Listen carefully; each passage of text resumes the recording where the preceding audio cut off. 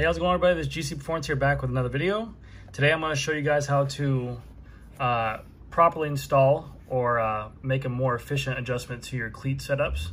Um, I know this is all very subjective and fitting is very, uh, it's, it's all based on preference to be honest with you. So there is there is no right and wrong to fit. There's there's reference points that you can um, you can go after a set to make you more efficient in cycling or but it's what is right for someone may not right be for others. So that's why you'll you'll see these videos on there on, on the youtube saying you know um, don't set up your your bike like a pro and stuff like that. We want to make sure that however you ride you're comfortable and the more comfortable you are the more power you'll be able to put out. So not always slamming your stem or or um, you know or, or riding exactly like a pro and making yourself more aero does not make you more of a better rider. So uh, but besides all that, this is just a um, some of the knowledge I've learned in the bike fitting world, uh, and I'm to try to teach it to you guys. So I have here a S-Works 7 shoe. This is the Tour Down Under collection with that uh, orange and pink. And on here, these are the Shimano SPD, uh, the road pedals, and these are the yellow ones. And these have a six degree float on here. They make a blue option as well with a two degree float, and then they make a red version with a zero degree float. And what that float allows you to do, it gives you that little bit of play and tilt back and forth. So that way, if you have any ankle, pre-existing knee injuries, um, or even if you're just changing cleats and you're and it's not exactly what you're riding for, let's say three or four years, and you change your cleats and it's not exactly what it is, it gives your body that little bit of an optimal adjustment to allow you to um, adapt to that. And that's all the float really is. You know, let's say you get off the bike for a couple um, couple weeks or whatever like that, your body has time to acclimate back to that Clifton position. Whereas pros will probably ride um, the red shoes or the red cleats or, or, or, blue, whatever it is, preference to them. But they'll they'll, they'll want to they want to eliminate that lateral movement as much as possible. But so I'll show you. You guys can kind of see on here how my my setup. I have it more pushed back, and this is called now the new neutral position. So before everyone used to take this cleat and they used to kind of put it in the center of the shoe and kind of line up the middle of this cleat with the ball of your foot, which like the ball of my foot would be like right here. So before it used to be all up here. Um, and the reason why they they moved to this new neutral position where you can see I kind of lowered it past the ball of my foot is because I'll use my hand as a, as a representation. So think, picture this the bottom of my foot. This is my first metatarsal, which is like my big toe, the, the longer toe, this, the ring toe, the, and then pinky toe over here. This right here, underneath your, your big toe, the, the ball of your foot, this has what's called a sesamoid bone on it, and that's the reason why you get a lot of hot spots because you're thinking you're pushing that power. Every time you're pushing down, your your foot has an arch in it, which will kind of collapse on itself, and you'll get that pressure on that sesamoid bone, uh, allowing uh, that to cause hot spots. And they realize that that they don't want the widest part of your foot, or they don't want the the, the cleat directly on that part because that triggers hot spots even more. So the new neutral position will be taking the widest where the, wherever your ball of your foot is, like mine's right here, and just go slightly under it with a cleat. So before, I used to have it set up like here, which is where it used to be wider. The widest part of my foot was directly on it, but you would get a lot of hot spots on it. So we lower it, getting you more leverage on the pedal as well, because now this cleat is underneath on the back of it. Let's see if I do this. I can get a better angle.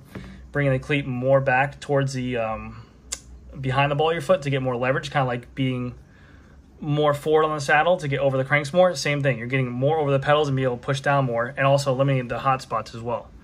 Uh, so I'll kind of show you guys how I did this. So cleat adjustment. Oh, and also as well, um, whenever someone's setting up cleats as well and they're installing it, a lot of people typically like to ride heel out. It's just preference for a lot of people. They typically like to ride heel out. What I mean by that is when you're riding, your your shoe is not dead set, it's usually sometimes toed in, or they like to have their toes in with the heels out. And if you ever want to accomplish that, like I have some people whenever I set up their cleats, sometimes like, oh, I want to go in more, and their heel will be in towards the bike. Let's let's say the bike is right here, and this is going up and down. They don't like that. They want to be a little bit more away from the bike. Whatever adjustment, if you want to accomplish that, it's the opposite. So if you want your heel to be more out, you're going to um, not toe your heel because people what they'll, they'll, typically think is they'll, they'll loosen this and then they'll toe this more in to get their heel going out because that's the direction of it. It's the opposite. So if I want my heel to go out, I'm going to move it away from the, the inside of the shoe. I'm going to go towards the outside of the shoe. And when I move the, the this that way, it's going to cause the heel to go away from the bike more. So if you like to ride more heel out, it's always going to be opposite. So think of that because of the fact that the shoe is upside down. So I do have the Shimano SPD yellow cleat right here.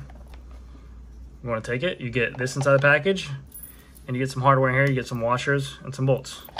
So So all I do is take it like this, put a, a washer, a washer, another washer. Very simple.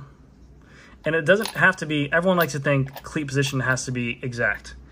And this where it comes into a realm of, again, I get this question I am the bike fitter at the store, and I went to three different specialized fitting classes, Retül, everything like that.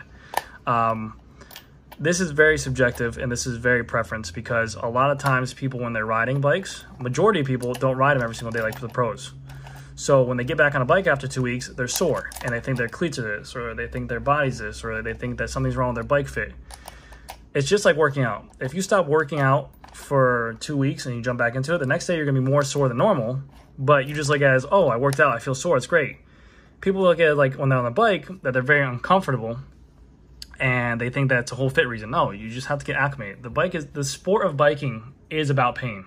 I will tell you this. You have to endure the pain. Now, if you're in excruciating pain, obviously no, there's something wrong. But you're gonna have some soreness you have to work through. You're gonna have some pain you're gonna have to work through on the bike, and that's just called you know getting better. I mean, you're, you're I mean, yes, you can make fits where you're very comfortable and upright, but you know if, if you get on the saddle after two weeks of taking off, your butt's to be sore. That's normal. There's no just magic seat you can put on there and it's to be take it away. Same with shoes and hot spots, stuff like that. Um, so the more you switch stuff around as well and try different styles and different cleats and different shoes and everything like that, you're going to be in more pain because you're never going to be able to adapt to it.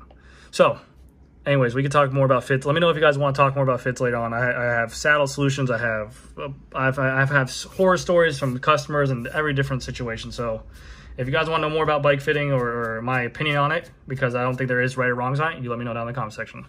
I'll make more videos like this. So I have the washers installed, pedals or the uh, screws installed as well. And I'll just basically tighten them down to a point where I can move around snugly. Let's see if I can do this. Really like this. So it's more better. So I'll just tighten them up. And now I typically like to ride more down, and this is gonna get you more power taking pressure off that first metatarsal, which is right here. We don't want the ball of foot to be like that. That's how we used to set up, right there in the middle, and this more point toe or straight up. This is all, again, preference to you and whatever like that. The more optimal, this is called the new, the new neutral position. We lower this right here, take it off the ball of the foot to avoid those hot spots. And now we're going to have a starting point for where we can ride at and we go from there. And i also like to ride a little bit heel out just i don't know why just for my personal preference and what i'm used to. So now what i'll do is take this just go almost straight up. So i'll give you guys a, a, a showing what it looks like. So this almost lines straight up with the shoe.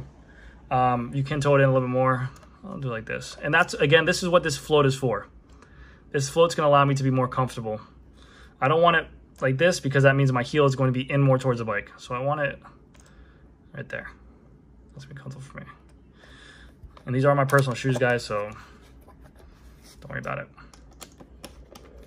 And that's gonna be it. That is called the new neutral position that Specialized will even talk about. Um, and this is again to relieve hot spots if you guys are a hot spot having person. But that is how you set them up on normal shoes. I have rode the blue cleats as well. I do notice that there's a lot of lot less float. It's two degrees, it's four degrees less float on there. It's almost close to zero. I am not a fan of it because one, I'm not. I'm just gonna be honest with you guys. I don't ride as much as I used to. I have two kids, one six month old and one three and a half year old, and I haven't been riding as much as I should be. um, but when you work at the bike store, especially during COVID, you don't you, you don't get to ride. You get to help people else out with riding. But right now, it's been a little bit uh, crazy but I will get back out there. But yes, that's why I opt for more float to have more, uh, more, more forgiveness when I get back on the bike. But that is my solution. Let me know what you guys think about. Let me know if you have any questions on it. Again, this is not saying this is right, wrong, or anything like that. This is just a a technique that I've learned throughout the years of fitting to reduce hot spots and also to give you a little bit more power. Um, it's more optimal for power. So let me know what you guys think down in the comment section. If you guys do want more video, fit videos too, let me know. I mean, I, have done Retül training by Specialized. I've done fit courses one and two for time trial bikes and everything like that. Been inside the wind tunnel. A lot of fun stuff. I'm, I do not talk a lot about fittings because it's such a great area that I, I'm a huge believer in everything. Everyone's different and there is no right and wrong in it. But I can give you my opinions on it. So let me know if you guys want that down in the comment section below. I will have some more bikes coming for you guys this week. I took a little two days off. We're going to bang out some Scott foils. I think I have in the Onyx Black coming out. Oh, sorry, not foil. The Addict RC in the Onyx Black. I have the Tarmac build coming up that I'm doing. I have, uh, I think some other Tarmacs coming in. I have some wheels coming in. I think I have some ENVEs coming in. Uh, some hookless ENVEs with ENVE tires I'm excited about. So I have a lot more content coming out, guys. And let me know what you guys think. And thank you guys so much for stopping by. If you guys have any questions at all, please feel free to let me know in the comment section below and I will get back to you as soon as I can. All right, guys, see you next video. Bye.